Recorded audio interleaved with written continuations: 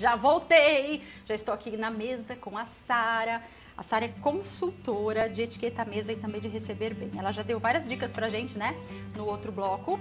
Agora a gente aliviou um pouco essa parte que tava tão linda aqui. De quem que eram as decorações? Da Daniela Zancanera, ela sempre me acompanha com as minhas mesas, os meus workshops. Dani, obrigada, muito querida. obrigada. Estavam lindas as Lindo, flores, né? maravilhoso. A gente só tirou daqui pra gente facilitar a visualização dos pratos da agora em Sim. diante, né? Mas E depois a gente volta pra mostrar Vou dar essa dica também. Quando vamos receber em casa, a altura dos arranjos florais tem que ser de 30 centímetros para baixo, para a conversa fluir, para um convidado enxergar o outro. Verdade. Não tem coisa mais chata que ficar aquele vasinho no meio, né?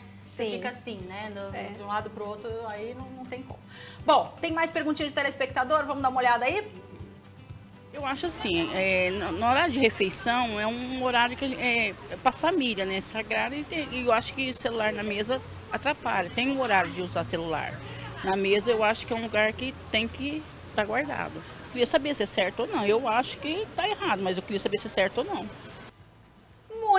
Muito bem, muito bem. Virei sua fã agora depois dessa pergunta. Eu Onde também, parabéns, melhor pergunta, Né? né? Porque pensado. olha, a mesa não é armário, então não é lugar Uhum. de celular, nem de bolsa, nada. Nada. Tá? Não podemos colocar nada à Mas mesa. todo mundo põe nessa área, o É, celularzão no Mas eu vou dar uma chato. dica, uma et- etiqueta moderna, onde nós podemos colocar o celular, Ah. tá? É, primeiro, nós temos que dar prioridade para os presentes. Então, é muito falta de etiqueta quando você chega num jantar, ou na casa da pessoa, ou num restaurante, e fica o tempo todo no celular. outra pessoa fica assim, ó. É, então, vamos dar prioridade aos presentes, né? E depois a gente faz as, as redes Lógico, sociais. É.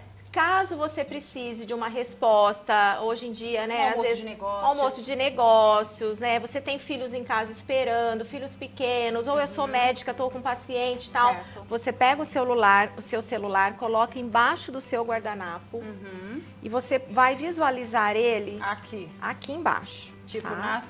É, você visualizou, respondeu, guarda ele novamente embaixo do seu guardanapo, Isso. sem problema Quer, nenhum. quer, tipo, põe pra vibrar, Põe pra vibrar. né? Vibrou, você dá aquela olhadinha, não precisa fazer aquele, né? Isso. Toque enorme. Muito boa pergunta. Ok, celularzão aqui em cima, ó. Bolsinha, se tiver Ah, a alça, pode Põe pôr na cadeira. na cadeira. Caso não dê, coloque atrás, no espaldar da E cadeira. aquele negocinho de pendurar aqui assim na mesa, você já viu? É um Também em ganchinho, restaurantes. assim, né? Isso, legal. Até que tem, pode pôr ali. Pode pôr ali. Boa. Mais pergunta, agora é da Carolina. É certo palitar os dentes quando estamos na mesa de jantar? Carolina, eu amo essa pergunta. Olha, não é certo, é super falta de etiqueta e não vale nem a cabaninha. Então lá em casa eu brigo com tá todo mundo, é. Lá em casa eu brigo, principalmente é um costume dos homens isso, É, né? é. E eu, a minha formação é cirurgiã dentista. Então, assim, é, o, o palito, gente, não tá escrito palito de dente, tá escrito palito roliço de madeira. Então não é para ir no seu dente, vai prejudicar a sua gengiva. Verdade, veio uma Então- dentista aqui semana retrasada falou a mesma coisa. É. Machuca mesmo. Então, olha, palito à mesa jamais, é super falta de etiqueta. Ficou incomodado com alguma coisa, levanta e vai ao banheiro? Vai ao banheiro. E se a anfitriã fez o meu curso e já sabe de todas as dicas, com certeza vai ter uma caixinha de amenities com fio dental, com Tá. tudo que você precisa no banheiro. Perfeito. Uma Ó, dica legal mas lá, também. Ninguém precisa ver.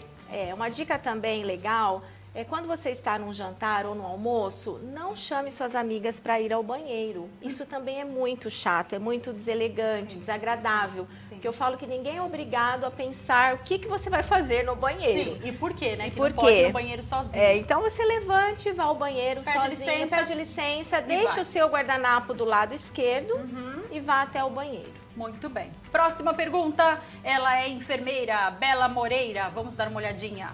Ah, boa tarde. Eu queria saber é, os talheres adequados para montar uma mesa